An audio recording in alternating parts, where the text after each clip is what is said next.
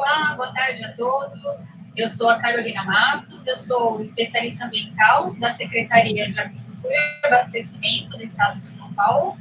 E hoje a gente vai conversar um pouquinho sobre a regularização dos meliponicultores no Estado de São Paulo. Antes de começar, eu preciso agradecer a Apiagre, que está fazendo aqui todo o trabalho, né, de conectar as pessoas com as plataformas, fazer a transmissão, né, então já fica aqui o nosso primeiro agradecimento. Lembrando, pessoal, que nós estamos todos fazendo essas lives voluntariamente, né, ao mesmo tempo que aproveitamos a oportunidade de pedir para quem puder contribuir quantidades beneficentes. Tem um link aí da plataforma para fazer a doação especificamente essa live, as doações vão para essa ONG, que é a ONG Canto da Terra, e ela tem um trabalho diferente. Por quê? Uma pandemia, um grande desastre, as pessoas elas tendem a cuidar mais delas mesmas, né? elas acabam esquecendo dos seus animais de estimação. Então, a proposta de doação hoje, ela tem esse olhar realmente para os animais de estimação. Essa ONG tem um trabalho bem consolidado, bem sólido, e as doações com as quais elas se mantêm caíram drasticamente por conta da pandemia. Então, os doadores,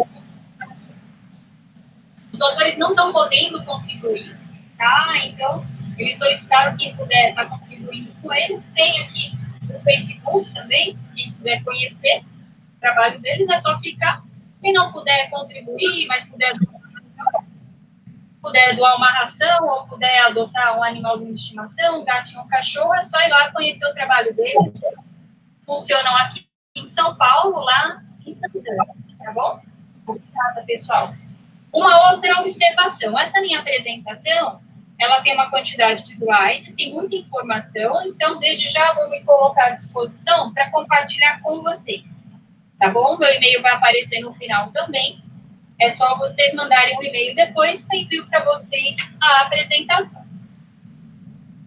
Bom, então por que, que existe a legislação? Por que, que existe legislação para a meliponicultura se a meliponicultura é uma atividade de conservação das abelhas nativas, de uso sustentável das abelhas nativas, né?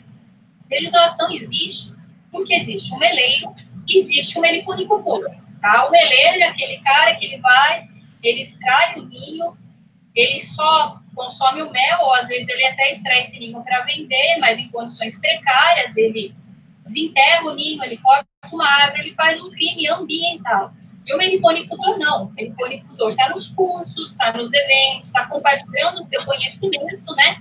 Ele está multiplicando as abelhas da natureza, capturando por ninho isca, que é a forma não destrutiva de capturar esses enxames. A meliponicultura é uma atividade sustentável, a atividade meleira é um crime ambiental. E para tentar separar essas duas coisas é que existe a legislação, que a gente vai falar um pouquinho agora. Sobre a história da meliponicultura no Brasil, os colegas nas apresentações anteriores já falaram um pouco, né? Mas de uma forma geral, ao contrário do que acontecia no México, né? Os povos originários aqui do Brasil, eles não criavam as abelhas de forma racional. Eles conheciam as abelhas, sabiam a melhor época de fazer a colheita do mel e tudo mais, mas era realmente uma, uma atividade de extração. Só que havia abundância de mata, havia abundância de abelhas, o impacto não era sentido. É, a natureza absorvia esse impacto. Só que com a colonização e o desmatamento, tudo isso foi aumentando, até que chegamos à condição que temos hoje de uma quantidade grande de espécies ameaçadas de extinção. Então, a gente pode dizer que a agricultura no Brasil, ela se iniciou no início do século passado, com o Monsenhor Bruni, e principalmente depois dos trabalhos do Dr. Paulo Nogueira Neto, como os colegas lembraram bastante nas apresentações passadas. Então, ela é muito recente. Né? Aqui no estado de São Paulo, ela tem crescido bastante, principalmente nos últimos 10 anos. A gente sabe que no Nordeste, no Norte do país, ela é mais antiga, né? mas no nosso estado ela tem crescido muito. Aproveitando, pessoal, para dizer o seguinte: a maioria das coisas que eu vou falar nessa minha apresentação diz respeito ao estado de São Paulo. Alguma coisa vai valer para o Brasil inteiro, mas não é tudo, tá? Então, a apresentação as questões de legislação, elas são bastante específicas para o estado de São Paulo. Quando valer para o Brasil inteiro, eu aviso. Bom, meliponicultura e o histórico do cenário legal. Como a criação das abelhas, ela é uma atividade, vamos dizer, que se iniciou no início do século passado. Naquela época, não existia legislação ambiental como a gente conhece hoje. Então, as pessoas já tinham um plantel de abelhas. E elas iam passando essas divisões, né, para o filho que casava, para a filha que ia morar em tal lugar, para ter o seu melzinho, para ter né, as suas abelhas, porque quem cria abelha sabe que é uma atividade apaixonante. Bom, pois bem, então as pessoas já conheciam as abelhas, isso antes do Brasil ser Brasil, né? E já tinham o seu plantel de criação racional, pelo menos a partir de metade do século passado, tá? A lei de crimes ambientais, que ela é um marco tá bom? Na meliponicultura e em outras atividades que envolvam o uso de recursos naturais, ela foi publicada em 1998, portanto, bastante tempo depois né, de já existir a criação nacional de abelhas sem fenômeno. E é nessa lei de crimes ambientais que é estabelecido um artigo dos crimes contra a fauna, que é o marco principal, né, de onde derivam os outros instrumentos normativos. A resolução Condama 346 de 2004 que é o marco da meliponicultura, específico para a meliponicultura, ela foi publicada em 2004. Só que ela não abrangeu toda a necessidade da atividade, tanto é que ela está em processo de revisão, né? Ela não tratou também daquela questão do plantel que as pessoas já tinham de abelhas. Então, é como se a história começasse de lá para frente. Mas o que havia atrás? Né? Ou seja, como não existe uma legislação federal específica para a meliponicultura, a meliponicultura ela acaba sempre se encaixando na legislação geral que já existe, tá? E ela não consegue avançar além disso. Muito bem.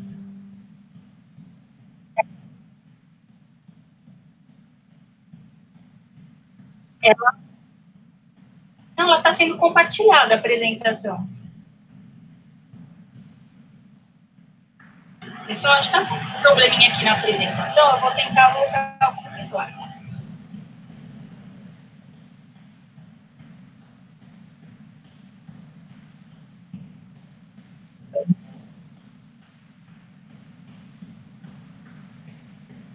Agora você vê?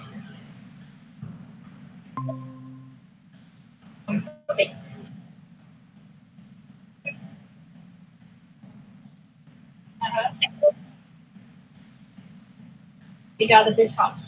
Olha, então eu estava explicando sobre a questão do histórico da legislação do Brasil. Né? Esse slide ele sintetiza aí essa questão das pessoas já terem as abelhas sem prisão, da lei de crimes ambientais que chegaram depois, só em 1998, e a resolução Conama 346 só em 2004. É, então, a meliponicultura ela se viu inserida no contexto legal que não era específico para ela, porque a resolução Conama ela não tratou de todas as necessidades da atividade, principalmente do plantel que as pessoas já tinham. Bom, quando a gente fala de legislação, é importante algumas coisas, tá? A primeira coisa é a seguinte: vocês devem tentar resgatar lá no colégio, né? A gente tem três poderes no Brasil: o legislativo, é quem cria as leis, o judiciário, que é quem julga as leis, e o executivo, que é quem executa as leis.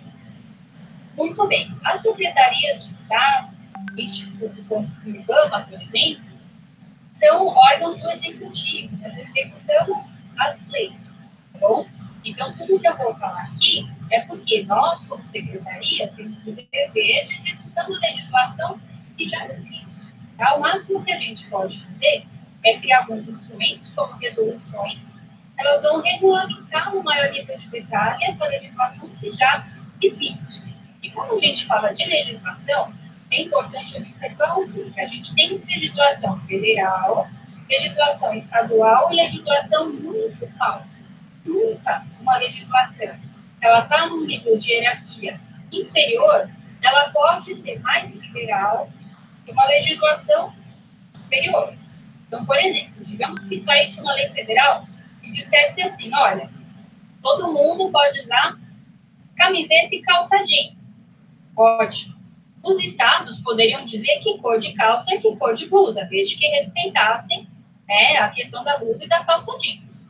E o município ainda poderia dizer que poderia ter alguma estampa específica, né, estaria respeitando o estado e a federação. O que não poderia acontecer seria, por exemplo, o município falar, olha, é, a gente pode usar é, saia em vez de calça, né? porque estaria infringindo, por exemplo, a legislação federal. Tá? Então, existe essa hierarquia, e esse é um assunto assim que dá muito pano para manga. Bom, toda legislação ambiental faz parte do CISNAMA, os órgãos que executam essa legislação ambiental também. CISNAMA é Sistema Nacional do Meio Ambiente. E quando a gente fala da legislação ambiental, a gente começa lá com a Constituição Federal, de, 90, de 88, a Lei de Crimes Ambientais, de 98, daí vai para a Resolução CONAMA, para a meliponicultura. Diversos estados já têm uma legislação própria, tá? Então, por exemplo, a Bahia, o Rio Grande do Sul, tá? Agora, recentemente, o Espírito Santo. São Paulo ainda não tem uma legislação própria, tá bom? Alguns estados também têm decretos, portarias, enfim. E alguns municípios têm uma legislação também, mais especificamente, elas têm versado sobre a questão do resgate das abelhas nativas. Né? O que é importante notar, existe um parecer da consultoria jurídica do Ministério do Meio Ambiente que fala dessa questão de que esses dispositivos estaduais eles têm que sempre respeitar a legislação que está acima, ou seja, nada vai conseguir ser mudado na legislação de meliponicultura se a lei que estiver acima, ela não for adequada para a atividade. Então, vocês vão entender o que eu estou dizendo quando a gente olhar para a atividade da pesca. A pesca tem uma legislação específica, né? E vocês vão entender o que eu estou dizendo. Bom, aqui no estado de São Paulo, a gente tem legislação para meliponicultura em respeito à parte ambiental e respeito à parte de defesa animal. Por que isso? Porque a abelha é um animal de peculiar interesse do Estado. É um inseto de criação que tem um valor econômico. Então, seja uma abelha africanizada, apis mellifera, seja uma abelha nativa, elas duas, né, essas duas espécies, muitas espécies de abelhas que a gente tem aqui, elas são animais de peculiar interesse do Estado. Por essa razão, é necessário cumprir a legislação que trata da defesa animal, tá? E abelha nativa, especificamente, animal silvestre, tá bom? Então, por ser um animal silvestre da nossa fauna nativa, esses animais são considerados protegidos pela legislação ambiental também. Lembrando, pessoal, que quem tira a abelha da natureza, corta a árvore, não comete só um crime contra a fauna, comete contra a flora também, tá bom? Então, por isso que a meliponicultura tem essa parte da legislação ambiental, porque a abelha nativa é um animal silvestre, tá? Então, quando a gente olha para a lei de crimes ambientais, ela tem um capítulo, que é o capítulo 5, dos crimes contra o meio ambiente. Especificamente, o artigo 29 trata dos crimes contra a fauna, tá? Então, você matar, perseguir, apunhar, utilizar os espécimes da fauna silvestre nativos em rota migratória, sem a devida permissão, licença ou autorização da autoridade competente ou em desacordo com a obtida. É um crime contra o meio ambiente. Também, quem modifica, danifica ou destrói ninho, abrigo ou criador natural. Quem vende, expõe à venda, exporta ou adquire, guarda, tem cativeiro ou depósito, utiliza ou transporta ovos, larvas ou espécimes da fauna silvestre, nativa ou rota migratória, bem como produtos e objetos dela oriundos, provenientes de criadores não autorizados ou sem a devida permissão, licença ou autorização. É um crime contra o meio ambiente. E daí eles detalham o que é fauna silvestre, que são, é toda aquela que pertence, a qual pertence às espécies nativas, migratórias ou quaisquer outras, aquáticas ou terrestres, que tenham toda a parte do seu ciclo de vida ocorrendo dentro dos limites do território brasileiro, inclusive as águas, águas jurisdicionais brasileiras. Ainda tem os agravantes se for contra uma espécie rara, considerada ameaçada de extinção, se for unidade de conservação Então, atenção quem coloca em em unidade de conservação, viu? Isso é um crime e tem um agravante. Se você não tiver autorização do órgão ambiental e anuência do gestor da unidade de conservação. Se empregar métodos ou instrumentos capazes de provocar destruição em massa. Então, aqui entra, por exemplo, a questão do envenenamento das abelhas, tá? Morte por veneno. Só que olha que interessante. Lá no parágrafo 6 está escrito aqui que as disposições desse artigo não se aplicam aos atos de pesca. Por quê? Porque a pesca tem uma legislação federal própria. Agora imagine o seguinte: se tivesse escrito que não se aplicam os atos de pesca e a meliponicultura, se a meliponicultura já tivesse uma legislação federal própria, as regras poderiam ser diferentes disso. Teriam que haver regras, lógico que teriam, né, mas elas poderiam ser um pouco diferentes disso. Bom? E daí, vale a pena lembrar que uma vez que a gente tem uma lei federal, a gente tem um decreto federal que vai regulamentar essa lei federal. E os estados podem fazer outras leis ou simplesmente criar decretos estaduais que regulamentem aquela lei federal em nível estadual. Por quê? Porque cada estado tem a sua realidade. E no caso do estado de São Paulo, foi feito também um decreto estadual, que é esse 60.342 de 2014, e depois uma resolução da Secretaria do Meio Ambiente, que é a resolução SMA 48 de 2014. Nessa resolução e nesse decreto, eles entram mais no detalhe, tá? Falam de ação ou omissão, falam de atores diretos ou indiretos. Então, de repente, você empresta o seu sítio para alguém colocar a abelha que não é nativa do estado de São Paulo, e você recebe uma fiscalização. Você também vai responder por esse crime ambiental. Fala das sanções, fala que os agentes públicos eles podem entrar nas propriedades, podem solicitar força policial se necessário, falam sobre a questão da captura, guarda, apanha das espécies da fauna silvestre, guarda e uso, produtos e subprodutos, e falam, olha atenção, tá? Sobre a questão da introdução de espécies nativas ou exóticas no estado de São Paulo. Tá? Exótica não é apenas exótica do Brasil, tá? Exótica é tudo que não ocorre no estado de São Paulo. Então, esses dias, um colega americanicultor estava me questionando sobre a questão da legislação relacionada a isso, tem um dispositivo legal e é um decreto tá, estadual que regulamenta um decreto federal e uma lei federal sobre a questão de introdução de espécies no estado de São Paulo. Então já tem essa previsão, tá? E agravante se essas espécies constarem, constarem em lista de espécies ameaçadas de extinção. Então, cuidado, gente. Cuidado quem cria espécie que não é nativa do Estado. Tá? A legislação hoje ela não permite. E quem está começando na atividade, é importante conhecer as espécies que são nativas do Estado. Quem vai comercializar uma espécie de abelha também, além de estar com a parte regular, tem que ser transparente aí com o seu consumidor também. Né? Então, de repente, a pessoa tem uma espécie que não é nativa do Estado, ela tem que avisar para a pessoa que ela está vendendo que aquilo lá ainda não tem uma solução legal. Porque hoje não é possível criar legalmente a abelha que não é nativa do estado de São Paulo no estado de São Paulo. A gente sabe que tem, sabemos sim. Tá? Na proposta da redução da resolução CONAMA, eles estão estudando de que forma regularizar a situação desses enxames, mas ela ainda não foi publicada, essa revisão. Então, hoje segue proibido. Bom, fala também sobre o dano das árvores nativas ou exóticas, necessidade de registrar a movimentação do plantel, unidade de conservação e da destinação dos animais apreendidos, tá? Então, tudo isso já está previsto. Essa, pessoal, é a lista das espécies de abelhas nativas que ocorrem no estado de São Paulo. São 61 espécies, tá bom? Não quer dizer que não possam existir outras, tá bom? Isso aí foi baseado em publicação, está citada embaixo. Como eu disse, eu posso enviar para vocês depois essa apresentação e observem que existem aí, se não me engano, são nove espécies que estão em vermelho. Mas por que elas estão em vermelho? E se vocês olharem também, a maioria delas são limponas. Olha só, essas que estão em vermelho são espécies que estão na lista estadual de espécies ameaçadas de extinção. E a maioria são meliponas. Por que será que são meliponas? Será que é porque elas precisam de cavidades maiores? Será que elas são mais suscetíveis alguma questão de captura ou de dano ambiental, enfim, mas o fato é que essas espécies estão na lista de animais ameaçados de extinção.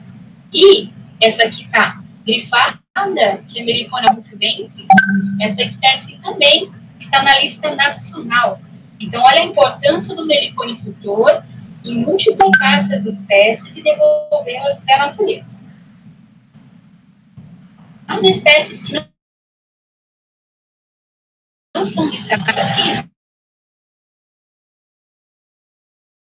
são essas, né? A Irijada, Mangueira do Mato Grosso, de Renda, a Mandaçaí e a Jundaí. Tá? São espécies que são de outros estados, mas já há muito tempo meliponicultores trouxeram elas cá. Não adianta a gente pedir que elas não existem, elas estão aqui. A gente precisa é, de uma solução real para regularizar esses enxames ou destinados aos seus estados de origem, se a legislação determinar dessa forma, mas desde que esses animais não sofram e desde que o meliponicultor, de alguma forma, ele seja compensado penalizado. Muitas pessoas que criam essas abelhas criam sem saber dessa questão da legislação.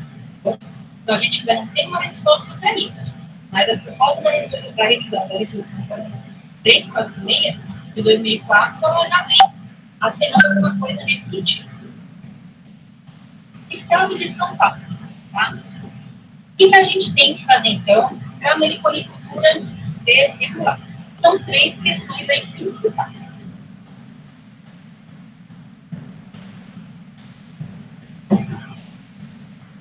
Primeira coisa, a inscrição no cadastro técnico federal do IBAMA. Observem que a categoria que nós colocávamos antes era 2023. No início desse mês, de abril passado, o IBAMA mexeu nessas categorias.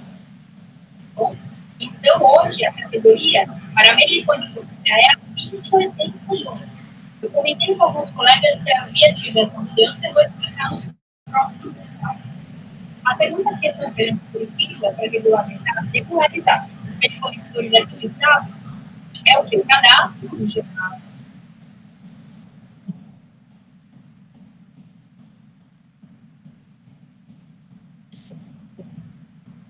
É, vou repetir aqui por conta do áudio, pessoal.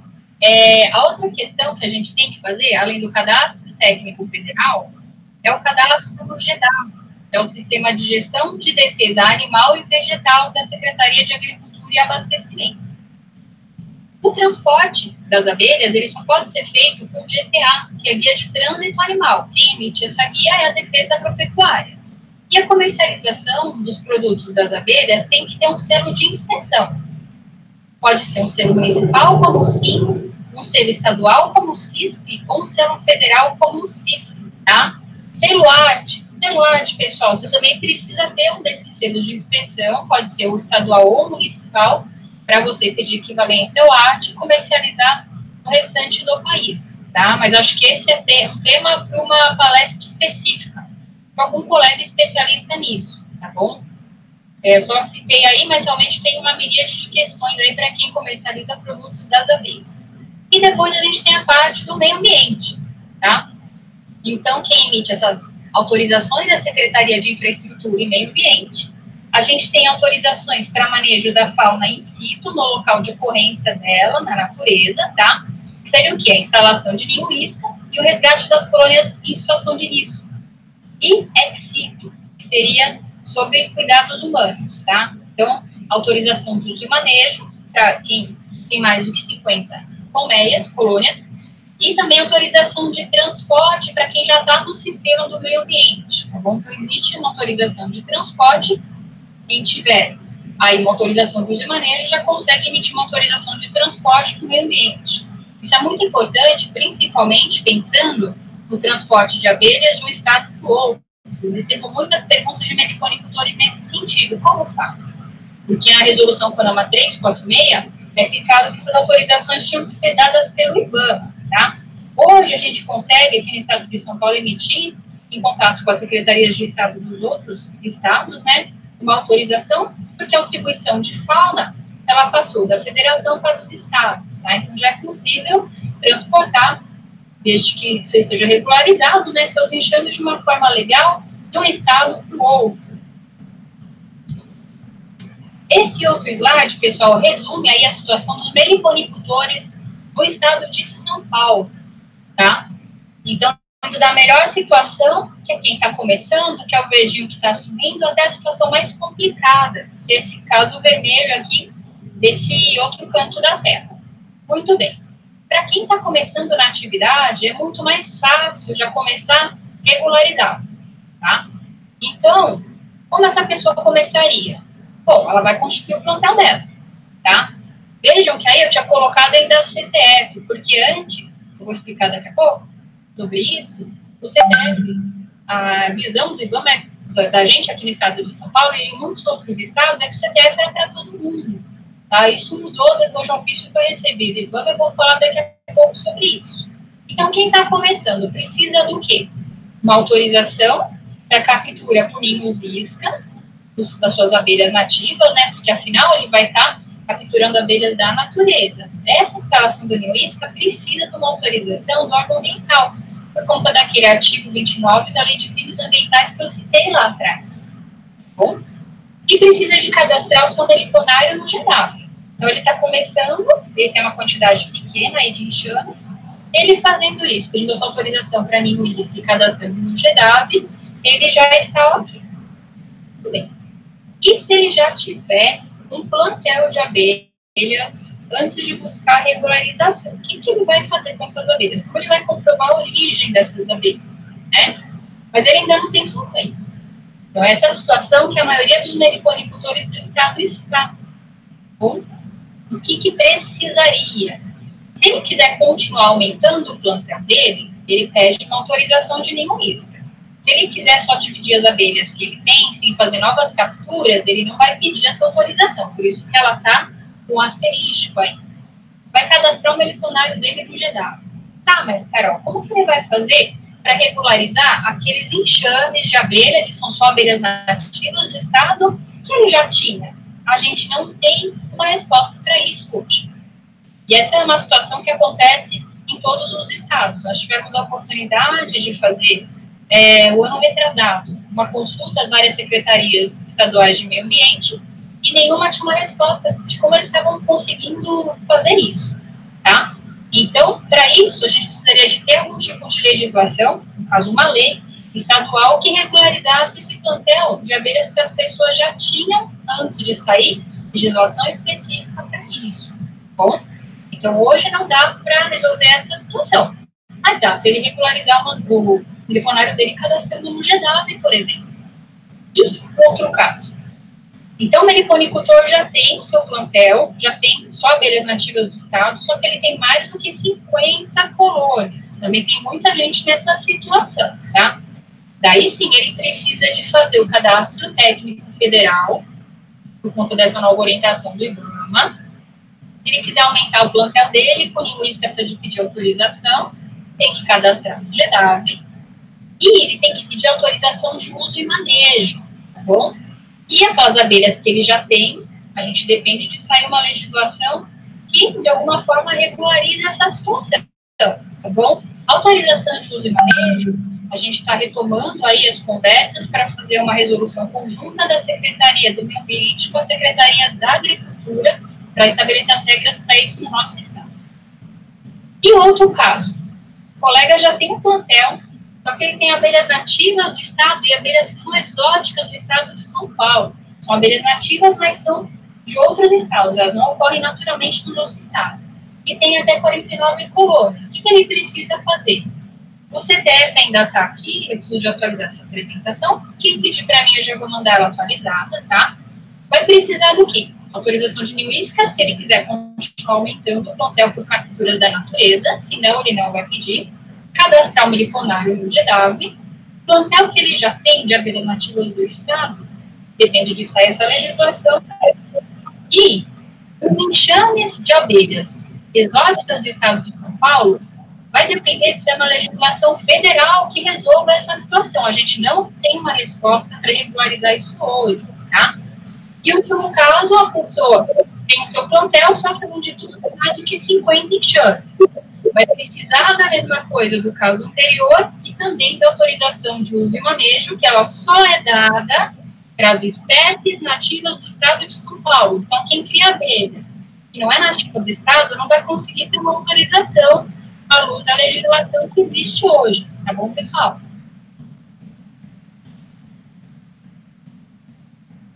Tá bom. Como eu faço isso agora?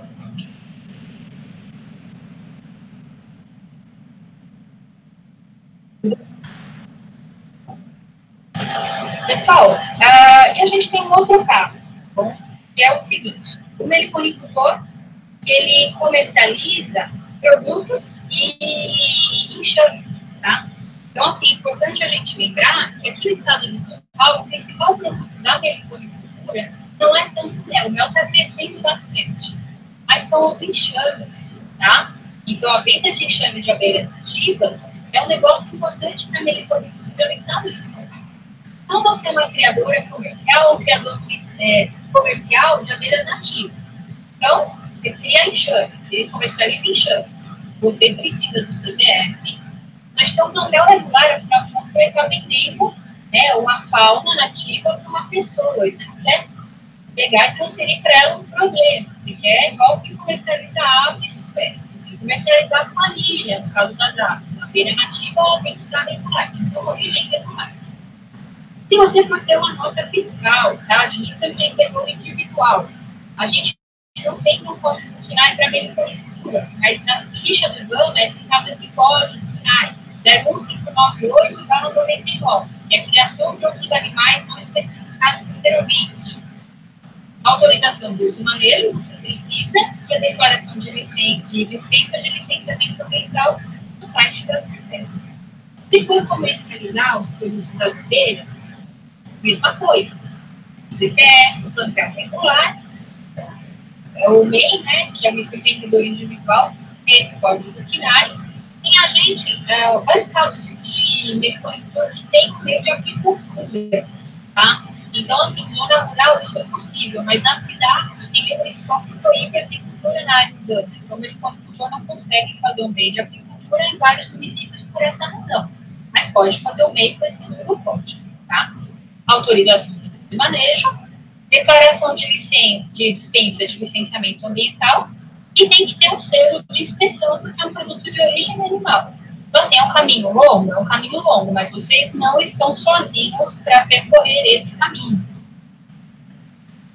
Voltando ao CTF. Então, a resolução CONAMA 346, ela cita né, que essa autorização para criar, para ter as abelhas, né, ela vai ser efetiva após a inclusão do criador no CTF. Depois ele obter, né, autorização de funcionamento da atividade, seria autorização de uso e manejo. Depois, no parágrafo segundo, ele cita que quem for criador artesanal e tiver menos do que 50 enxames não precisa de ter autorização. A visão que nós tínhamos aqui no estado de São Paulo, eu sei que vários estados têm essa visão também, é que essa dispensa citada no parágrafo segundo ela dizia respeito apenas à autorização de uso e manejo, não você quer. E por conta das mudanças que houveram nas fichas técnicas de atividade urbana, eu mandei uma consulta para eles perguntando sobre isso, né? Porque essa ficha nova, ela só vale para quem tem mais do que 50 enxames. E eu perguntei, tá, mas e quem tem menos, como faz? E quem tinha na outra categoria, como faz? E o que eles retornaram foi o quê? Que eles entendem que o meliponicultor que tem menos do que 50 enxames também estaria dispensado do CTF. Essa visão de dispensa do CTF, ela está proposta na CONAMA, na revisão da CONAMA, que está sendo discutida. Mas o IBAMA passou por ofício essa visão, essa leitura disso já neste momento, tá? Então, isso é muito novo. Quero, inclusive, mandar um abraço para os colegas do IBAMA, nossos colegas servidores lá do IBAMA, né? E os colegas também das outras secretarias estaduais de meio ambiente. É muito importante que a gente esteja trabalhando, pessoal, em conjunto, entendendo da mesma forma as regras, tá? Porque quando a gente passa isso para o produtor, tem que estar tudo muito claro, que é complexo para ele entender. Então, quanto mais claro, melhor. Bom? Bom, então, se o meliponicultor tem mais do que 50 enxames, ele tem que fazer o CTF nessa categoria, que agora é a 2081, ela é específica para meliponicultura, tá? E onde faz o CTF? No site do IBAMA, é gratuito, pessoal, tá? Tem o um link aqui, é muito importante. Para poder fazer o CTF, tem que usar o Mozilla Firefox. Se você tentar usar um outro navegador, você não vai conseguir fazer. Você pode até fazer usando o Mozilla, depois que você já tiver, acessar com outro navegador. Mas para fazer, tem que ter o Mozilla, tá bom? Então fica a dica. Esse aqui é o ofício, né, que eles me mandaram, provavelmente não deve dar para ler, mas o que, que eles disseram? Obrigação de inscrição no CTF restringe-se à criação com número superior ou igual a 50 colmeias. A segregação da meliponicultura em atividade específica, que era 2023, agora é a 2081, não implica nenhuma alteração na obrigação de fazer o CTF na entrega do relatório anual. Então, quem tem que fazer continua tendo que fazer o relatório e tudo mais. Os novos meliponicultores que tiverem que fazer o CTF, ou seja, que tiverem mais do que 50 enxames, tem que fazer na 2081. E quem já tinha o CTF na 2023 ou em outras categorias, antes deles mexerem em 2018, que é a 2023, vão precisar aguardar. Por enquanto, não precisam fazer nada. Eles falaram que vão publicar um edital com orientação de procedimentos e prazos, tá bom? Então, quem tem mais do que 50 enxames vai fazer o CTF agora. Já faz na 2081. Quem tinha nas outras categorias não faz nada, aguarda orientações. Quem tem menos do que 50 enxames, de acordo com a orientação do IBAMA, não precisa mais fazer o CTF. Bom, pessoal, então essa é novidade que eu tinha para contar. Essa é ficha técnica da categoria 2081, tá? Vocês podem acessar no link, eu não vou ler ela inteira, porque a gente tem pouco tempo. Quando você faz o acesso ao CTF, você já fez o seu CTF, você vai acessá-lo pela página do IBAMA, né? Você vai ver lá em cadastro, certificado de regularidade, comprovante de inscrição e dados cadastrais. Comprovante de inscrição, você vai conseguir imprimir o seu comprovante numa folha A4, você consegue recortar esse comprovante, dobrar ele certinho e plastificar. Fica um documento que você pode usar na sua carteira. Muitas pessoas confundem o certificado de regularidade com o próprio CTF. Então, a pessoa fala às vezes que ela tem que renovar o CTF dela a cada três meses. E não é assim, pessoal. O que você precisa renovar, se você precisar mostrar para algum órgão oficial, é o seu certificado de regularidade, que ele vai dizer que você está ok com o CTF. Mas não quer dizer que você tem que ficar entrando a cada três meses para gerar, para gerar, para gerar. Se você não tiver devendo nada, nenhum relatório, você está legal, tá? Agora, se você precisar de pedir uma autorização, uma autorização de uso manejo, que vai pedir o CPF, daí sim você tem que gerar o seu certificado de regularidade.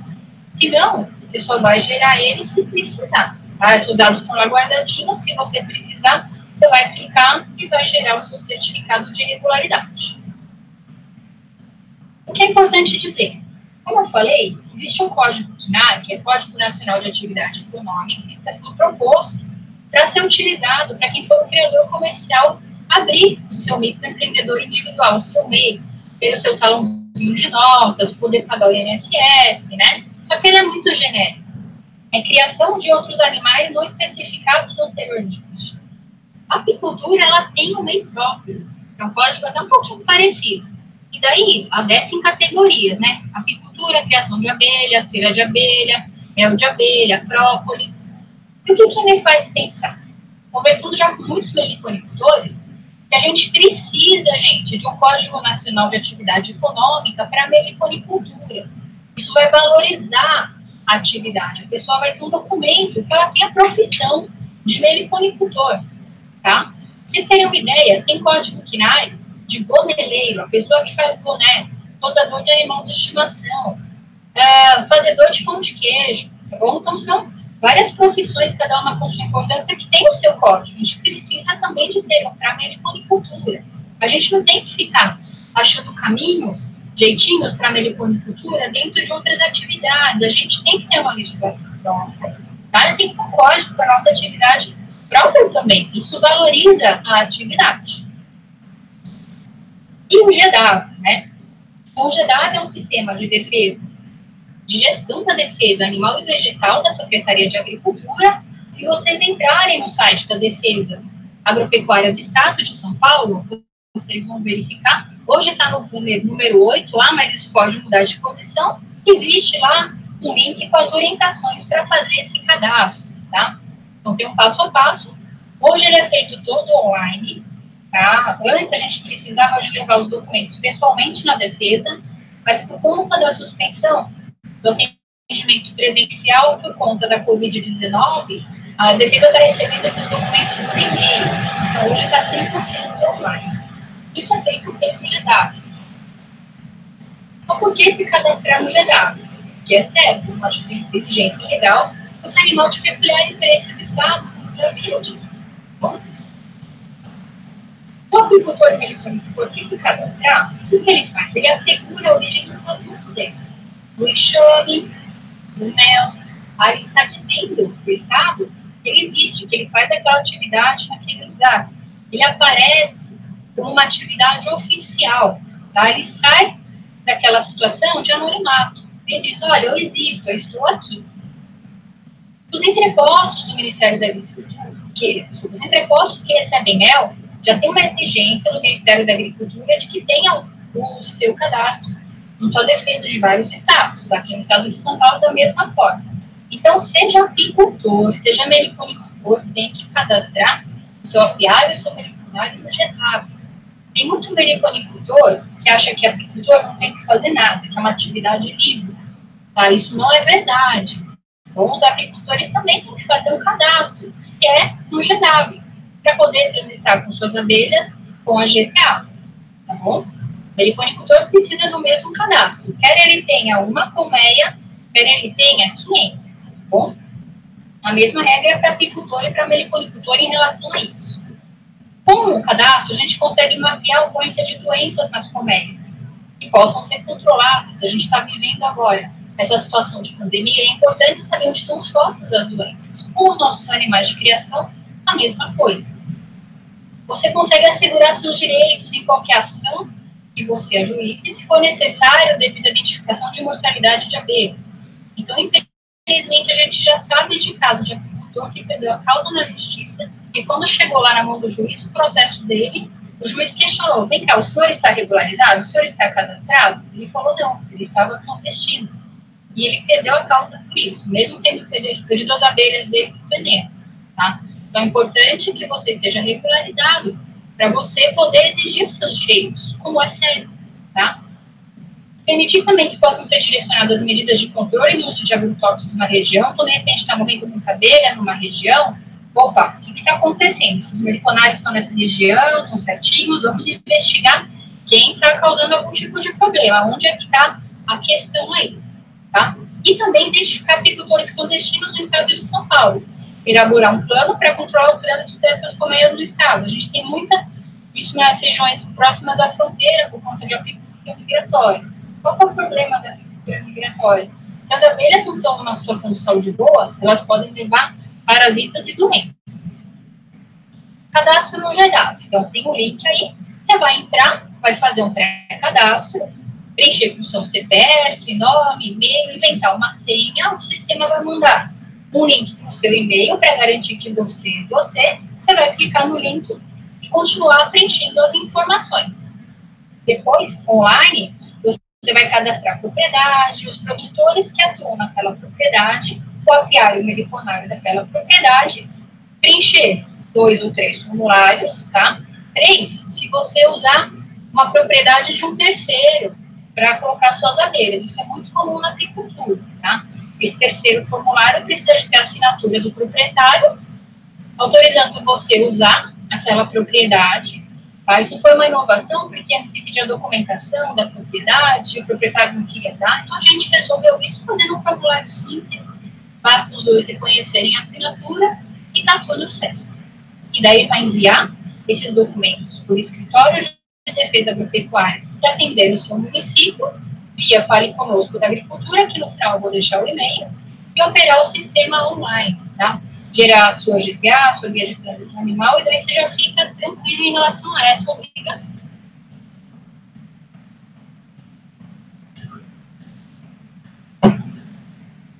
Transporte. Todo transporte de animal de peculiar interesse do Estado precisa de GTA, a guia de trânsito animal. Isso é uma exigência federal. Qualquer Estado precisa de ter GTA. Se vier da Bahia para São Paulo, do Rio Grande do Sul para São Paulo, de São Paulo para Minas, tem que ter a GTA, tá bom? E quem emite essa GTA? A Defesa Agropecuária. Então, o meliponário apiário do outro estado tem que estar cadastrado com a defesa dele, o seu meliponário apiário tem que estar cadastrado com a defesa de São Paulo, e um lugar vai mandar um animal para o outro. Isso já acontece com vários animais, com boi, com pássaro, tá bom? Com abelha não é diferente. E a GTA, ela vale por colmeia, tá bom? Uh, a GTA tem um custo aqui no estado, a única coisa que tem custo, tá? E esse custo, ele vale para o lote ou para a unidade. Se não me engano, está em torno de 16 reais.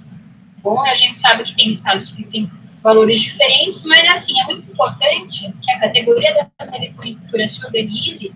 A gente soube que já tem três associações de meliponicultores no estado, é muito bom ver os meliponicultores se organizando, né? Para levar suas demandas. A gente tem uma Câmara Setorial de Apicultura e Meliponicultura na Secretaria de Agricultura, então, através dessa organização, é bom que os produtores conseguem levar as suas demandas bom?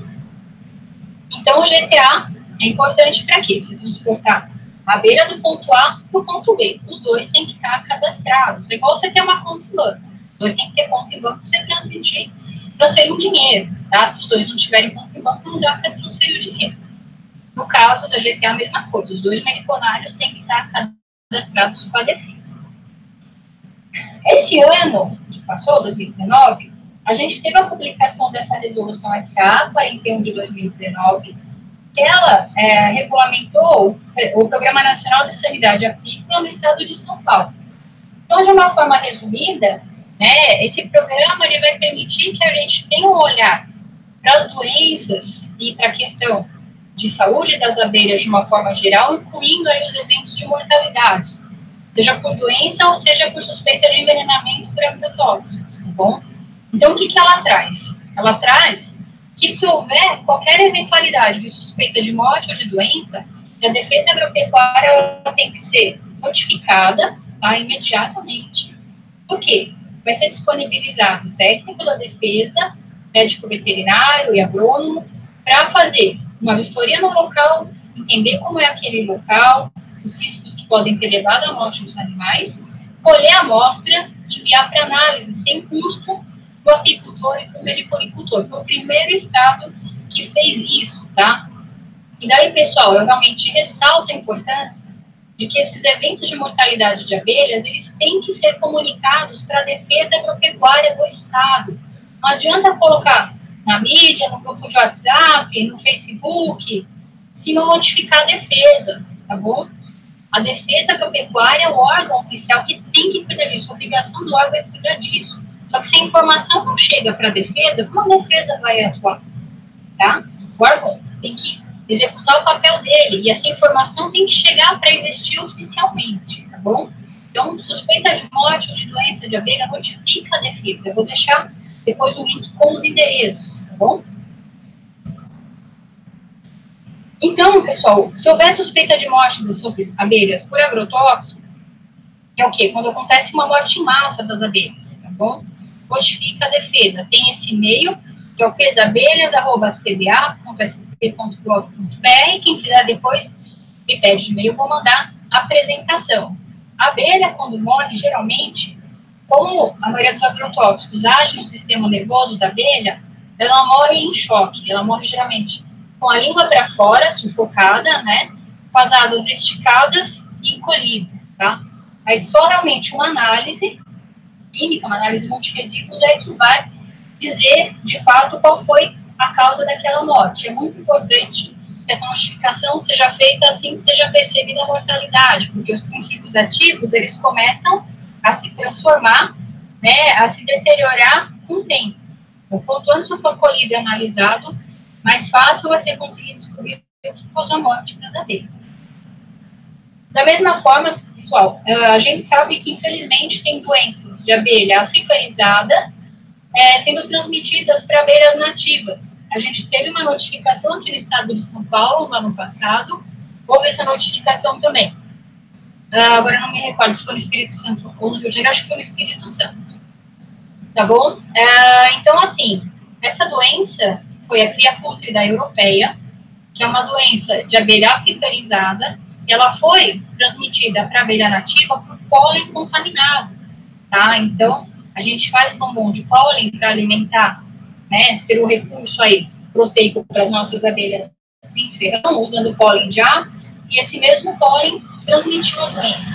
Então, os discos ficaram falhados, as abelhas começaram a jogar as crias para fora, as crias estavam completas aí no seu desenvolvimento, né? O policultor achou aquilo estranho e procurou. Coletamos material, enviamos isso para a análise e a análise mostrou se tratava de criaturas europeias. Caso foi notificado para o Ministério da Agricultura e está tomando as devidas providências junto à defesa agropecuária do estado de origem deste ponto. A gente tem também, uh, isso tem acontecido mais em aves, né, parasitos, né, como o besouro da colmeia, eutina úmida, e às vezes até falam de outras coisas, mas só coletando realmente para analisar, para ter certeza. Se tiver uma suspeita de uma praga ou de uma doença, notifica a É importante dizer que a gente não destrói colmeia. Isso não existe mais. Bom, que antes, quando tinha retina, se destruiu o colmeia. Isso não existe mais. A retina está espalhada por todo campo. A gente precisa de saber onde ele está para poder atuar e fazer né, uma conexão com os apiários para ver quais são as melhores práticas para controlar essa praga. E no caso dessa doença das abelhas nativas, pessoal, as melicomas, elas são assim muito suscetíveis, tá? Então, assim, felizmente, alguns enxames o meliponicultor conseguiu recuperar, fazendo bom manejo, mas outros ele perdeu. Aí foi muito triste mesmo ver ela jogando aquela quantidade de cria para fora. Uma coisa é que a gente consegue evitar, sabendo a origem do pólen que a gente consome, que a gente dá para as nossas abelhas, né, e os apicultores fazendo as melhores práticas nas suas colmeias. Esse aqui é o laudo, tá? Houve muita discussão aí nos dias que antecederam a publicação do laudo, a publicação dessa nota técnica sobre a ocorrência dessa doença no estado, mas fica aí o laudo, depois uma nova apresentação para quem pedir. É, Melissococcus protônios, foi detectado aí no pólen, em pequena quantidade aí no mel, provavelmente por conta da manipulação, e na cria, então comprovando que morreu por conta dessa doença. E a análise polínica do pólen, que diz que plantas né, vieram aí, esses, esses grãos de pólen, comprovaram realmente a origem geográfica de acordo com o relato do meliponicultor de onde ele adquiriu esse pólen. Então, tudo isso foi encaminhado aí para o Ministério da Agricultura, que está investigando junto com a Defesa Agropecuária do estado de origem do ponto. Uma outra coisa, aqui, uh, ah, para quem é meliponicultor urbano, costuma ter bastante problema quando tem nebulização, né, que é a aplicação do tal do fumacê, tá? De perder as suas abelhas.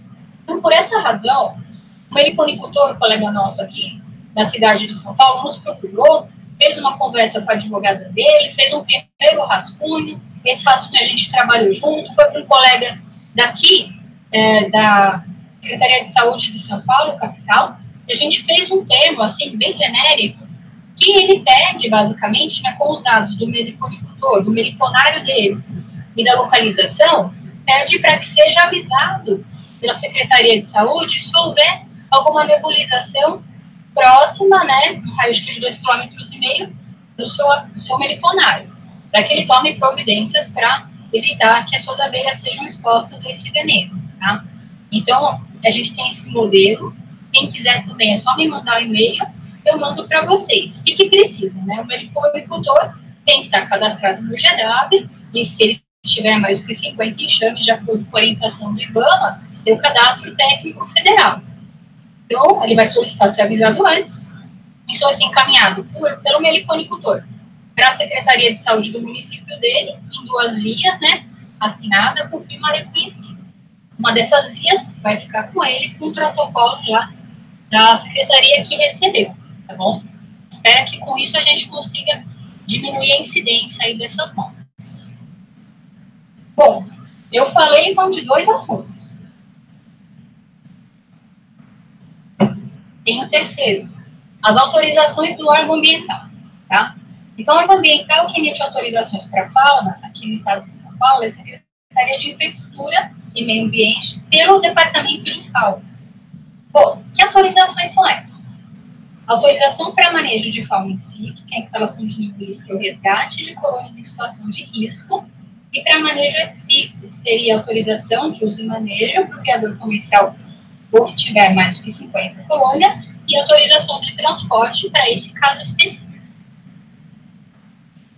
Essas autorizações, elas são obtidas por meio desse sistema chamado GFAL, Sistema de Gestão de Fauna, tá? Também, por enquanto, essas autorizações, elas são gratuitas, tá bom? Por que eu digo isso? Porque antes dessas autorizações, quando elas existiam em nível federal, havia uma cobrança de taxa pelo IBAMA. Desde que isso repassou para o Estado, ainda não tem havido a cobrança de taxa, mas pode ser que exista, tá bom? Então, hoje ainda é gratuito, não quer dizer que vai ser para sempre, tá? Para solicitar, precisa do quê? Fazer o cadastro no sistema, que é o SIGAM, dentro do SIGAM acessar o GFAL, que tem as instruções. Acessou o GFAL, você vai clicar no meliponicultor, na abelhinha, para você pedir a sua autorização de ninho isca. E ao lado a gente tem a autorização de resgate de abelhas nativas, que ela tem uma outra tela, um outro procedimento. Muito bem.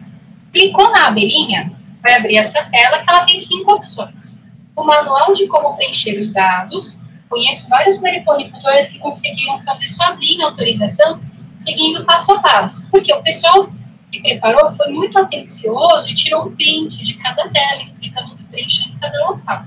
Tá? Mas mesmo assim, se houver algum tipo de dificuldade, eu sou uma das pessoas da Secretaria de Agricultura que está à disposição para ajudá-los a tirar essa autorização. Lembrando que só vale para o estado de São Paulo, tá?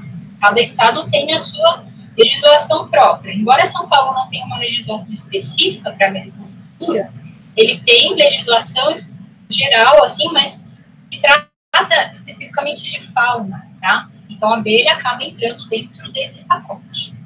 A segunda tela que tem é o plano de trabalho, que é um anexo que você vai ter que subir no sistema para dizer onde vão estar seus ninhos isca, que quantidade, por quanto tempo você quer autorização, um modelo de declaração, que você diz que você é o responsável pelo sangue do um modelo de relatório, porque depois que você tiver obtido a sua autorização, quando ela tiver para vencer, você vai enviar um relatório dizendo o que você capturou e onde. Não tem como você dizer o que você quer capturar. Você assim seria fácil, todo mundo querer capturar. Um da saia, mão bocão, né? Mas infelizmente não é assim. Tá? A gente dispõe um ninho isca na natureza, a abelha que decide se vai entrar ou não se é que entra abelha, né? Às vezes entra formiga, entra serpente, não é? Mas então, é no final da autorização que vai ser mandado um relatório dizendo que foi capturado. Tem um pouquinho de legislação e tem a lista de espécies. Essa lista de espécies eu vou falar no final da minha apresentação sobre ela. Então, essa autorização de manejo de sítio, existe essa resolução 36 de 2018 da Secretaria do Meio Ambiente, como eu falei, ela é genérica para a fauna, tá? Mas a autorização de isca foi embasada nessa resolução. Então, qual é o objetivo? Você constituir o seu plantel. Então, você vai ter suas abelhas, que vão ser suas matrizes, essas matrizes você não pode comercializar. Para poder comercializar as divisões dela. Tá bom? Muito bem. Como que funciona essa autorização? Você vai dizer por quanto tempo você quer. No máximo são 60 meses, 5 anos. Você vai dizer em que propriedade você vai instalar seus ninhos isca. Quantas pode, Carol? Quantas você quiser. Lógico, sendo razoável, né? E lógico, essa autorização não te dá a permissão de entrar numa propriedade de um terceiro sem autorização desse terceiro, tá? Então, se você tem um amigo, tem um colega, tem um parente que tem um sítio, conversa com ele, faz um acerto pessoal com ele para ele te autorizar. A gente não está pedindo para subir nenhuma autorização assinada de que ele deixou você linguista naquela propriedade no sistema, mas você tem que ter esse acordo combinado com ele. Tá? Então, voltando à autorização, você vai dizer quantas propriedades, o endereço delas, uma coordenada geográfica por propriedade. Facinho, você pega isso no Google. Aí hoje em dia, com tanto aplicativo, você vai na propriedade e pega lá a, a coordenada uma por propriedade, tá? E a quantidade de muisca que você vai pôr em cada propriedade e o total. Então, digamos assim, ó, vou pedir uma autorização de cinco anos, vou pôr meus ninhos isca em sete sítios. Eu tenho meus amigos, meus parentes, esses sítios são todos aqui. Ibiúna, Britiba Mirim, Mogi das Cruzes, eu vou colocar nessas, nesses lugares. Vou preencher aquele plano de trabalho com essas informações, uma coordenada geográfica por propriedade, o pessoal do meio ambiente vai analisar, estando tudo ok, não faltando nenhuma informação, eles vão te dar a sua autorização. A partir daí, você já está habilitado tá, legalmente para capturar a abelha da natureza sem ter nenhum tipo de problema, porque essa captura foi autorizada pelo órgão ambiental, lembrando a lei de crimes ambientais. Tá? Então, qualquer captura que você fizer com essa autorização vai estar regularizado. Bom? Então, tudo que você capturar tem origem regularizada, plantão que você constitui com essa captura e com as multiplicações dessas capturas também vai ter origem regular. A outra autorização é de resgate de abelhas nativas. A gente sabe que bastante gente faz resgate, realmente de enxames em situação de risco, mas infelizmente tem muito telefone que chama resgates de extrações, tá? Então, lembrando, o agricultor não é um milheiro, tá? Por isso que é muito importante que, assim, seja caracterizada a situação de risco dessas abelhas. Tem gente vê uma abelha, uma abelha está lá 20 anos, né? Um chame está lá 20 anos, ele viu a abelha, eu quero aquela abelha, eu vou tirar. Isso é uma extração, isso é um problema ambiental, isso não é um resgate, uma situação de risco. Isso tem que ficar muito claro colegas fizeram palestras antes de mim falaram sobre isso também. É um mundo que vai ser derrubado, é um terreno que vai ser terraplanado, que foi cortado bem show, mais nada. Tá? Então, só voltar uma técnica. Ficou lá naquela parte do resgate de abelhas nativas, né? Abriu uma outra tela, tem um manual de como solicitar, o plano de trabalho também, e o relatório que vai mandar no final da urgência da sua autorização. Qual é a ideia? Inibir a dos berreiros, tá? Então, como que funciona? Você vai dizer também por quanto tempo você quer que ela vai. No máximo, 5 anos, 60 litros.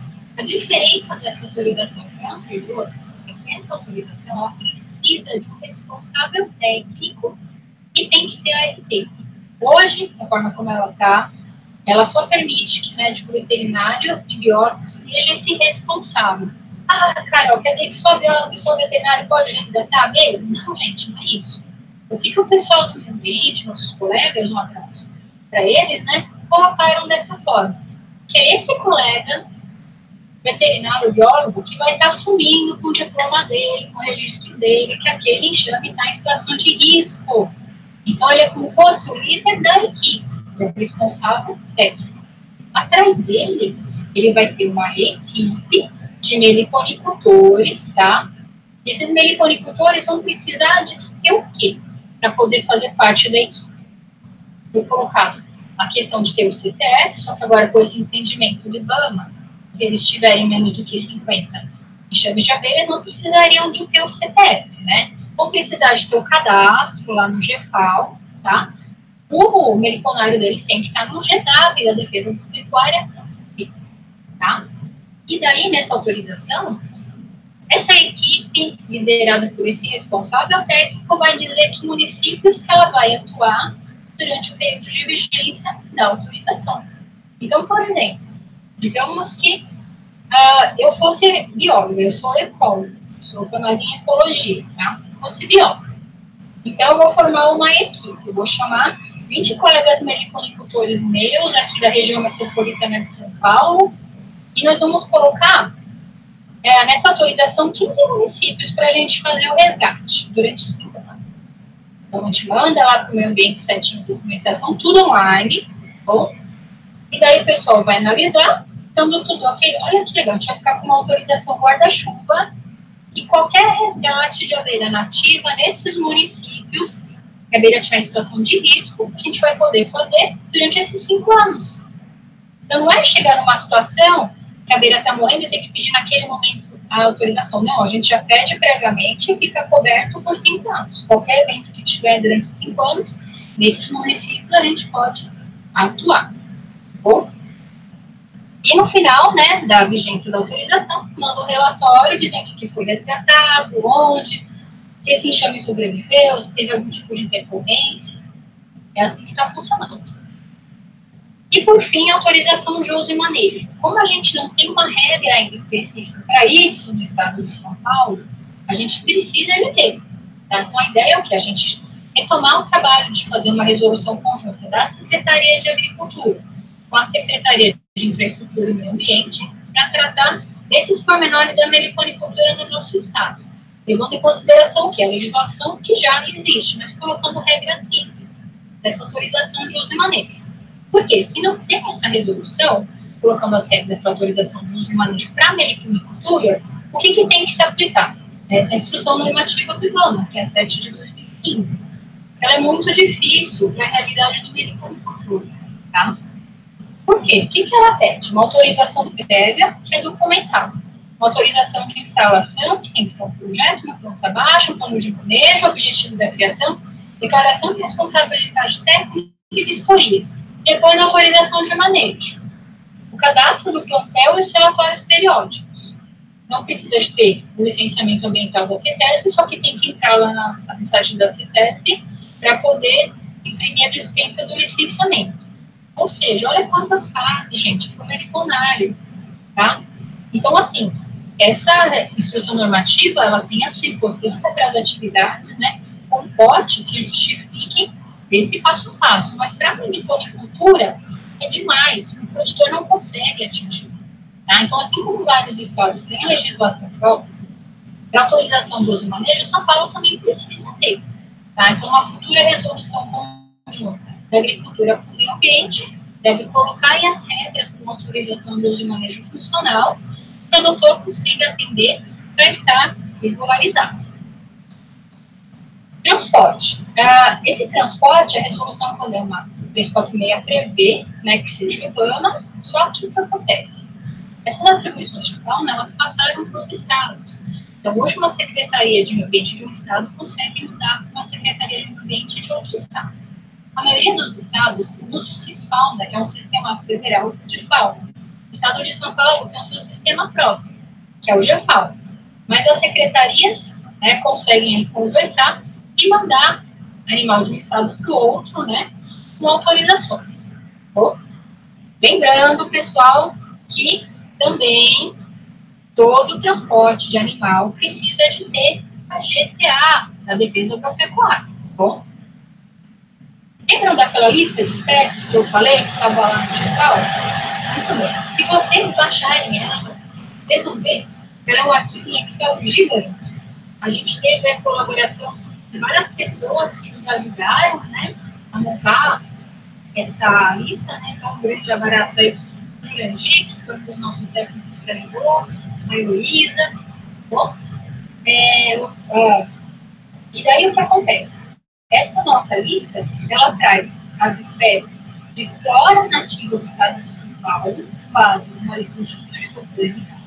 Nós colocamos também o que? A época de florescimento dessas espécies, os recursos que elas produzem para as abelhas. Pólen, néctar e resina. Tá? São as coisas principais que as abelhas precisam né, para sobreviver. Então, colocamos também as principais espécies de abelhas, né, de acordo com o que a gente conseguiu no momento de bibliografia, as principais abelhas que visitam por conta desses recursos ou como local de nidificação. Então, se você vai fazer um projeto de restauração, você já consegue selecionar um mix de espécies, você ter florescimento ao longo do ano e determinar os recursos que sejam do seu interesse. Ah, Carol, mas eu não preciso de fazer um reflorestamento, eu só queria enriquecer o pasto perífero que eu tenho aqui na minha região. Tudo bem, então, colega lá de Araçatuba, um abraço pessoal de Araçatuba, de Prudente, estive lá ano passado. Então, você quer fazer o seu pasto, você vai selecionar as espécies nativas que são de lá, vai selecionar, de repente, você precisa de espécie com pólen que floresce em julho. Você seleciona lá e você consegue ter uma lista que vai te ajudar, que vai ajudar as suas abelhas, tá bom? Como eu falei, vocês não estão sozinhos, tá bom? Nós temos aqui tanto colegas da Defesa Agropecuária, como colegas da Coordenadoria de Desenvolvimento Rural Sustentável, da qual faço parte, que estão sendo capacitados já para ajudá-los com esses cadastros, com essas autorizações. Como eu faço parte da Coordenadoria de Defesa, desculpa, de Desenvolvimento Rural Sustentável, eu posso falar mais porque são mais colegas que participam aí com a gente nessas atividades. A gente tem um grupo gestor em 41 municípios do estado, são 41 colegas aí, são esses pontinhos amarelos que estão espalhados por quase todo o estado de São Paulo, estão sendo capacitados para ajudar com essas autorizações. Contem conosco. Defesa agropecuária também, os colegas aí estão sendo capacitados para fazer o estado de vocês. Nesse momento, como a gente está nesse cenário de pandemia, estamos trabalhando todos remotamente, em teletrabalho, a defesa está recebendo as demandas pelo Fale Conosco da Secretaria de Agricultura e esse Fale Conosco ele dispara os municípios né, do meliponicultor, o Escritório de Desenvolvimento de Defesa Agropecuária do meliponicultor para fazer o cadastro dele. Então, a gente está tudo mar, tá? mas vocês não estão sozinhos, vocês têm essa rede de suporte para vocês. A gente sabe que essa legislação ela é difícil, tá? Por quê? Porque ela não é específica para a agricultura. Ela tem muitos pormenores, é difícil para eu conseguir entender, tá? Mas, como eu falei, vocês não estão sozinhos, vocês nos têm para ajudá-los com os cadastros, com as autorizações. Especificamente, eu faço atendimento ao meliponicultor toda quinta e sexta-feira, mediante o agendamento prévio por e-mail. Então, é só me mandar o e-mail, colocando aqui de novo, né? Meu e-mail carolinar.sp.gov.br. Olha, Carol, eu vi sua apresentação. Me manda a apresentação, lembra de pedir. Então, a gente pode agendar na próxima sexta-feira, de tarde? Podemos. Daí a gente vai fazendo isso remotamente, pelo WhatsApp web, pelo Skype, como for melhor. A gente começa, se for necessário, com o CTF, para quem precisar, faz o GW, faz autorização de lista, vai fazendo aos pouquinhos, até estar tudo certinho, tá? Lembrando, pessoal, que nós da Secretaria de Agricultura e Abastecimento, assim como outros servidores públicos do Estado de São Paulo, nós que estamos com serviços considerados essenciais, estamos trabalhando em teletrabalho, tá? Então, estamos trabalhando em home office, tá? e recebendo as demandas, continuando o serviço público normalmente. Para mandar alguma demanda, se for específica da meliponicultura, pode mandar para o meu e-mail. Mas para qualquer demanda relacionada à agricultura e abastecimento, basta mandar para o Fale Conosco agricultura.sp.gov.br ou ligar para esse telefone que é o 11 5067 0060. Então, a demanda vai ser devidamente encaminhada. Por fim, essa foto né, do enxame do nosso querido Ailton Fontana, um abraço, Ailton, é, mostra o enxame de Jataí. Esse enxame era de um linguista que ia ser transferido, né, de propósito, nosso mestre nos fez essa provocação. Então, o ninho foi deixado deitado antes de ser transferido, mas para nos ensinar uma lição. Observe que a Jataí, ela estava botando, né, ah, os ovinhos, construindo os discos de cria todos no horizontal. Quando o ninho foi inventado, nós mudaram a posição. Né? Por isso que está uma parte deles na vertical. Mas isso vem nos mostrar o quê? Que se a situação está difícil, o que, que a gente faz? A gente se adapta. Tá? Então, a legislação hoje não é fácil, mas vamos nos adaptar para tentar atender o que existe. Para isso, vocês podem contar com a gente Enquanto isso, vamos trabalhar juntos para fazer uma legislação para a meliponicultura que seja mais adequada para a atividade. Bom? Então, agradeço, tá? Lembra, pessoal, fiquem em casa, tá? Quem gosta de abelha, gosta de gente também, se cuidem, fiquem em casa. A vida da gente é o nosso bem mais importante, tá? Agradeço e agora vamos responder perguntas. Provavelmente devem ter muitas, se eu não der conta de responder todas aqui, eu vou respondê-las por e-mail. Tá bom? Obrigada, pessoal.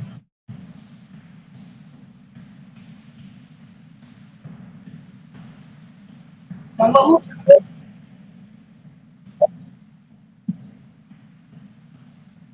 Olha, então estou recebendo aqui, pessoal. Vamos lá.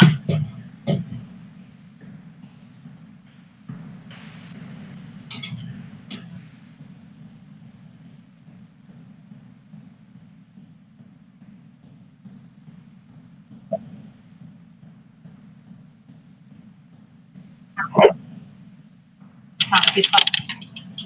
Muito bem. Ajeitando aqui o foco. Muito bem. Então, o nosso colega, é, Vladen Vestas, ele nos perguntou o seguinte: se eu me regularizar no IBAMA, sou obrigado a me registrar nos órgãos do Estado de Paulo? Então, assim, como eu expliquei, são registros, são cadastros diferentes, tá? São três passos. Então, o IBAMA é um deles, tá? Mas pela legislação em vigor, você tem que se cadastrar os outros órgãos, sim, se você for no estado de São Paulo, né, na defesa agropecuária. E se você for pedir uma autorização de uso e manejo, se você tiver mais de 50 anos, tem que pedir essa autorização no órgão ambiental aqui na Secretaria do Meio Ambiente também, tá? Então, só fazer o CPF no programa, na verdade, não deixa o meliponicultor regular. Tem mais coisa para ele fazer É o primeiro passo, tá bom? O Adilson Barbosa. Pela lei, posso trazer espécies de outros estados da mesma espécie que ocorre no meu estado? Pode sim, tá? Isso você pode. Então, digamos assim, ó, eu crio um mandaçaia MQA. Eu quero trazer outra mandaçaia MQA do Mato Grosso, tá? Ela ocorre no estado de São Paulo? Ocorre. Então, eu posso trazer. Lembrando que esse transporte ele precisa de ser autorizado pelas respectivas secretarias do meio ambiente, tá? E ter a guia de trânsito animal, a GTA, tá? Porque se você traz um enxame sem ter nenhum tipo de autorização, o que, acontece? Como fosse um tráfico de animais silvestres. Olha que horror, né? Então, para evitar isso, você pede autorização das secretarias de Estado do Meio Ambiente e a GTA, tá bom? Mas você pode sim, se é uma espécie que tem no estado de São Paulo, a mesma espécie que tem em outro, você pode trazê-la seguindo aí essa outra legislação. Bernard Wolfman. É, fiz o cadastro no IBAMA, mas não gerou guia de pagamento. Tem algum tutorial para essa regularização? Se for o CTF, não tem guia de pagamento, tá bom? Ele é gratuito. Então, se for o CTF que você estiver falando, Bernardo, não tem pagamento mesmo, tá? Qualquer coisa, me manda um e-mail, que daí a gente verifica se é do CTF que você está falando. Mas se for o CTF, não tem guia de pagamento. Peliconário Santuário ASF. Tudo bem, Carol? Marcelo de Mogi. Um abraço, Marcelo. Grande meliponicultor lá da região. Em que pé anda a questão do grupo de resgate? Ah, olha só. Então, Marcelo, a gente precisa de ter um médico veterinário ou um biólogo para ser o líder da equipe, né, para ser o responsável técnico, para a gente realmente juntar aí os meliponicultores interessados ao redor dele.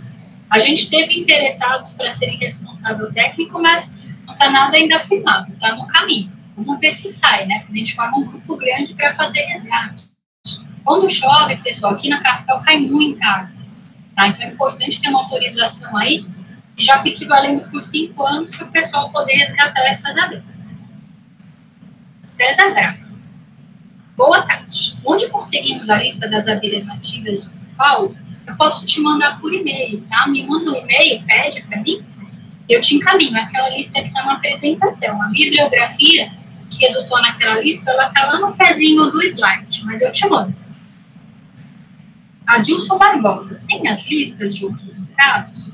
Olha, eu tenho as publicações a partir das quais a gente gerou a lista de São Paulo. Posso te mandar essas publicações também, é só me pedir. Beliponário Santuário ASF. No caso de colônias mestiças, NQA e NQQ, por exemplo, a legislação tem algo a respeito?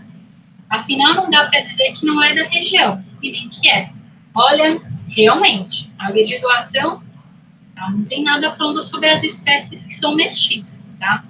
Então, para quem não sabe, a MQA, MQQ são subespécies da saia tá? que elas acabam se cruzando. São Paulo, capital, aqui está numa região de transição, então elas acabam se cruzando. Então, posso dizer, ah, que espécie que é? Bom, é uma melípona quadrifaciata. Agora, se é quadrifaciata, quadrifaciata, quadrifaciata, antidioides, né, mas a legislação não chega nesse detalhe, não. E para todos os efeitos, Marcelo, que é considerado pela legislação hoje no Estado de São Paulo, para a fauna em geral, lembrando, é o perímetro do Estado. Então, assim, Estado de São Paulo. Ocorre no Estado de São Paulo, é nativa do Estado de São Paulo.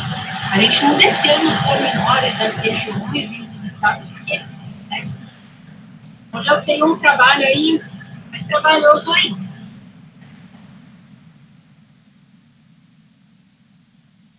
É, Carlos Fernando Paulo, do Estado de São Paulo. Aqui no Rio de Janeiro, como precisei da GTA, me indico o veterinário para dar o pau. Ele me pediu 300 reais por Gente, isso há três anos atrás. Olha, é, a gente sabe que tem muitos profissionais que eles querem atuar e tudo mais. Né, cada um aí tem né, os seus cursos e tudo mais. Mas essa GTA, eu não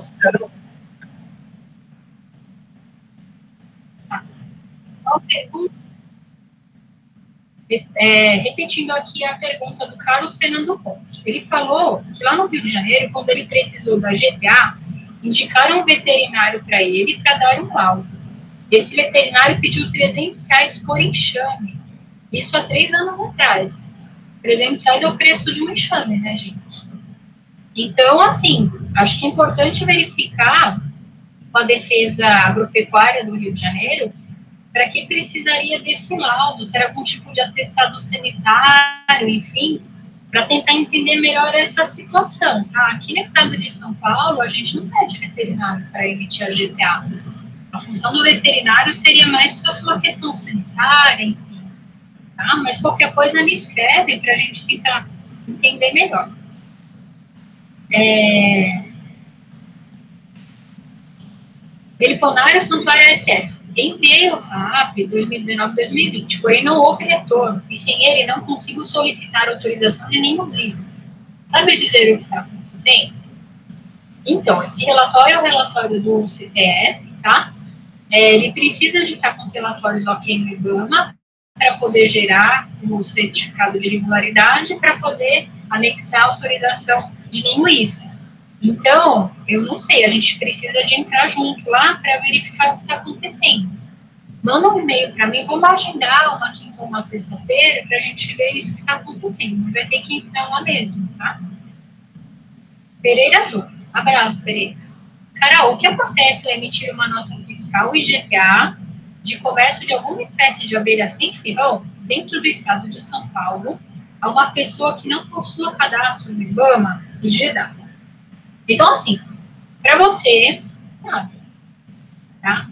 Só que a pessoa, ela tem que estar tá cadastrada no GDAV para você conseguir transferir a sua família com GTA para ela. Porque senão seria a mesma coisa assim, ó.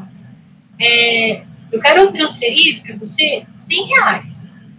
Você precisa ter uma conta em banco também, tá? Senão não dá para transferir. A GTA é a mesma coisa, os dois têm que estar cadastrados no geral, senão dá gerar a GTA.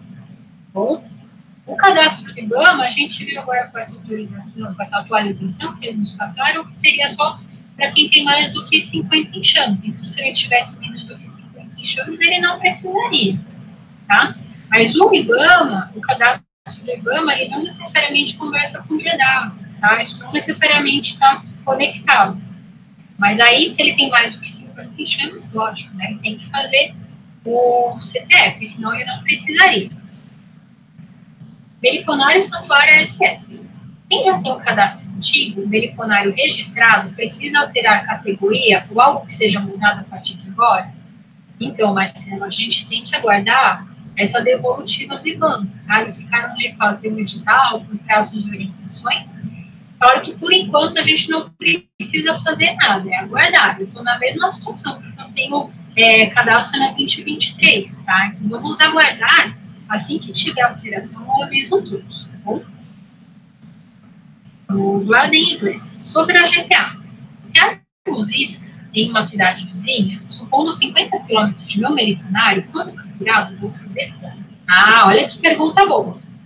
Então, o que acontece? Quando você faz a sua autorização de isca, ela já sai lá no rodapé com uma autorização de transporte do local de captura para o seu meliponário, tá? Então, essa aqui é o único caso aí que você não precisa de ter a GTA, tá? Porque você não está transportando de um meliponário para outro meliponário. Você está transportando da natureza, onde você capturou, com autorização do órgão ambiental, para o meliponário. Entendeu? Então, não tem como você cadastrar a floresta, por exemplo, no GEDAR, tá? Então, você não precisa de, da GTA nesse caso específico, a autorização de captura economista da Secretaria do Meio Ambiente, ela já sai com autorização de transporte para você. Nesse caso, você não precisa. É, Carlos Fernando gostaria de saber qual veterinário conhece de abelha sem pulgão. Ainda não tive notícias de nenhum.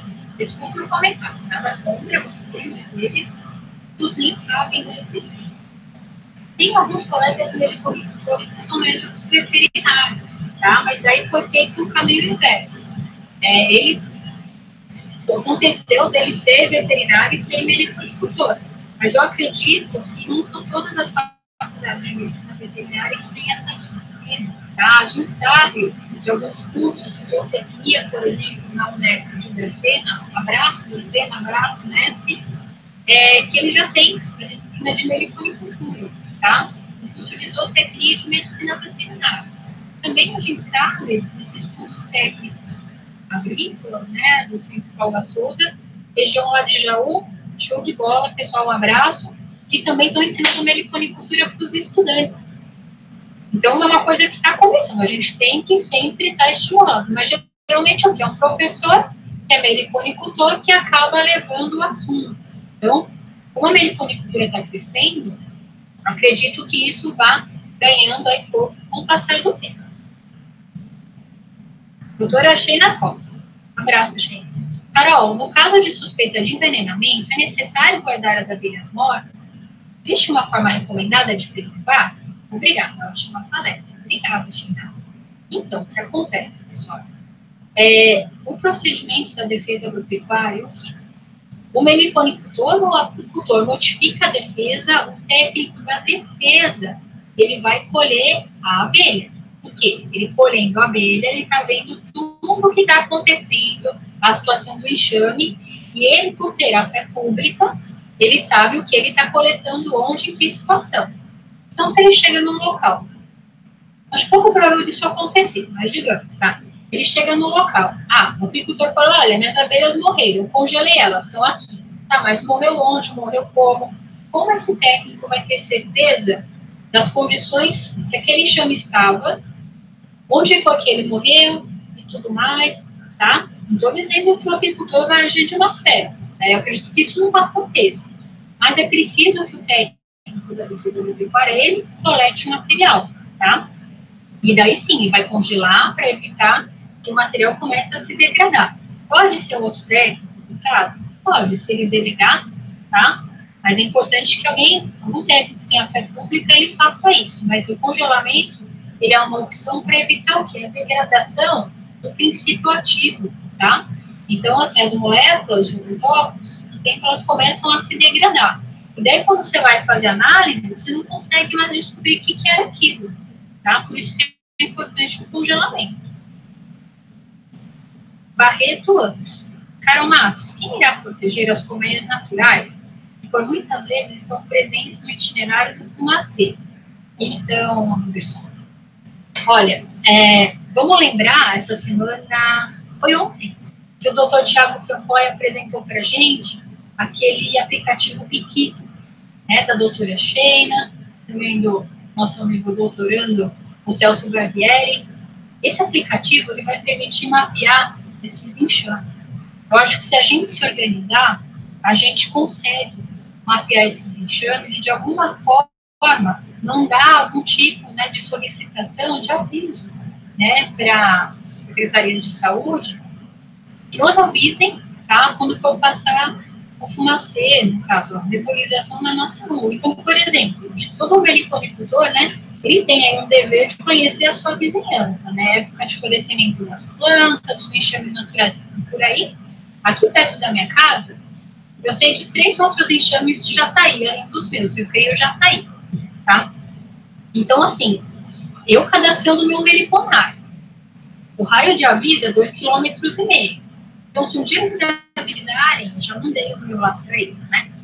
Me avisarem que vai passar o fumacê na minha rua, opa, eu já sei que tem aquelas três outras comércios que de alguma forma eu preciso proteger. O que, eu posso fazer? Colocar algum tipo de redinho para evitar que ela saia? Eu posso, tá? Então, acho que a gente tem que começar a pensar o que, que a gente vai fazer, tá? E daí, pessoal, convido a todos, aí os conectores urbanos, a se unirem para a gente poder é, buscar soluções para esses problemas que são típicos de quem tem a capacidade.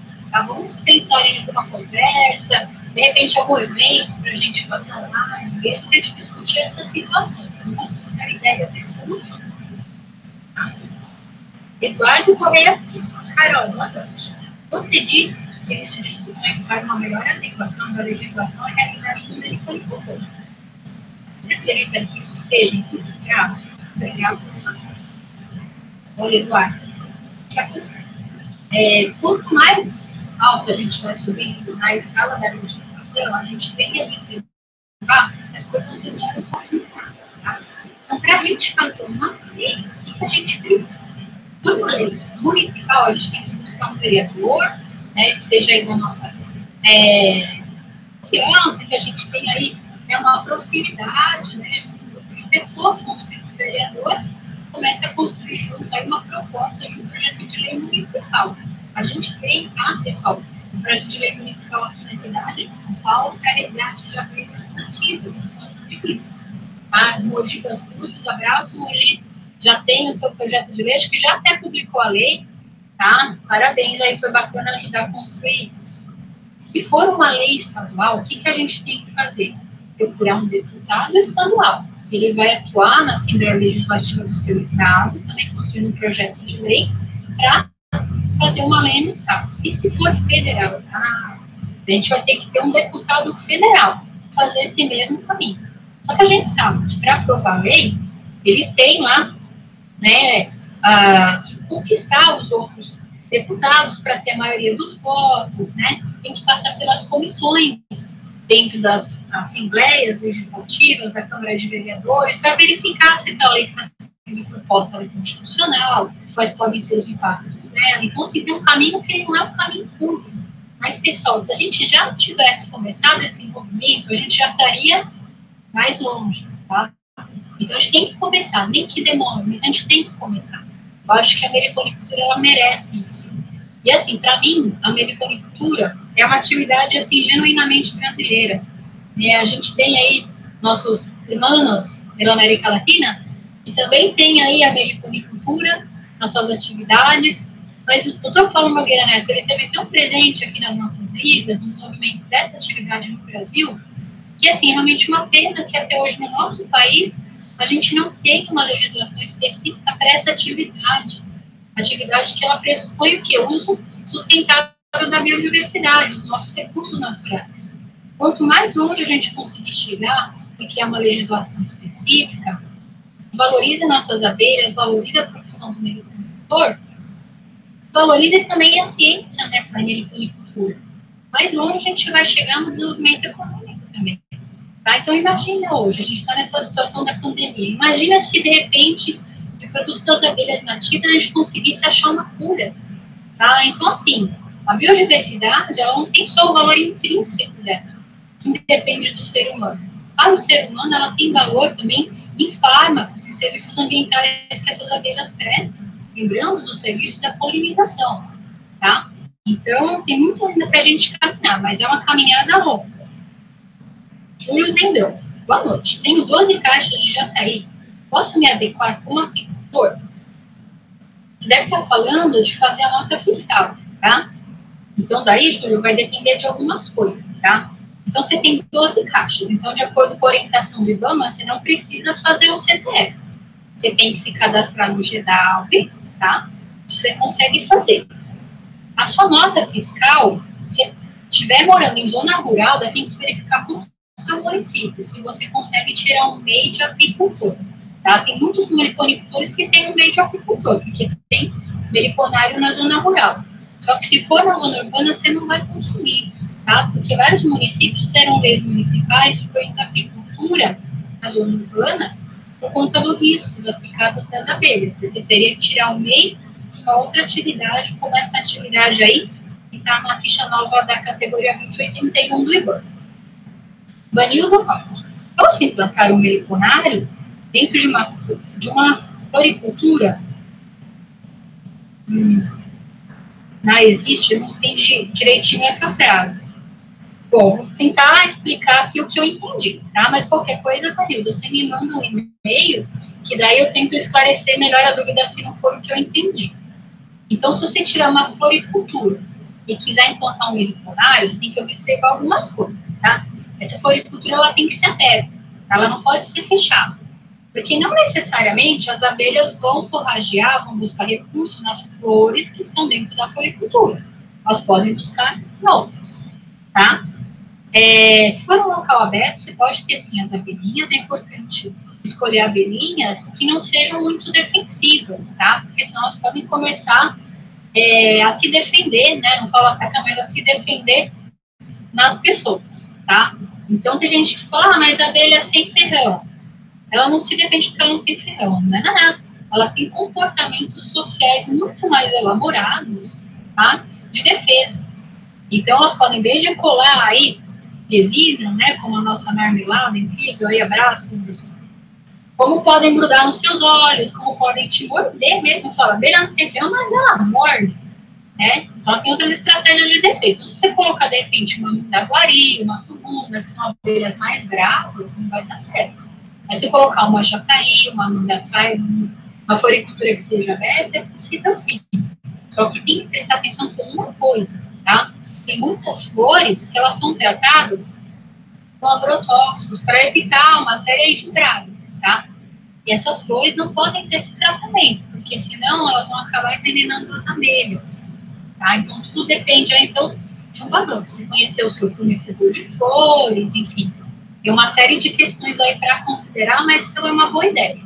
A gente pode conversar mais sobre essa ideia, se me mandar um e-mail, a gente tenta ir entendendo melhor aí a sua Pessoal, por enquanto, foram essas dúvidas que me chegaram. A gente também está aí no limite do tempo. Agradeço a vocês, né, por terem assistido essa live, por terem mandado as dúvidas por terem né, tido a paciência de escutar esse trem passando aqui e algumas pequenas falhas. A internet está com bastante falha aqui na capital São Paulo, mas conseguimos aí transmitir. Então, novamente, agradecer nossos colegas da Apiagre, tá? Por todo esse trabalho aí com a live, com a implantação, na verdade, né? De todo o sistema que tornou esse evento possível Agradecer o Éder pela ideia, todo mundo que trabalhou direto e indiretamente para que ela acontecesse. Ah, pessoal, das doações, tá? Quem puder aí, é, usando o PicPay, encaminhar uma documentação, a entidade de hoje é a ONG Canto da Terra, tá? Eles estão aí fazendo um trabalho já muito trabalha muito tempo aí com cães e gatos resgatados, eles tratam, eles têm médico veterinário e encaminham para adoção. Tá bom? Então, se a pessoa não puder contribuir agora, mas quiser doar uma ração depois, ou até adotar um amiguinho, fica aqui o Instagram dele, tá bom?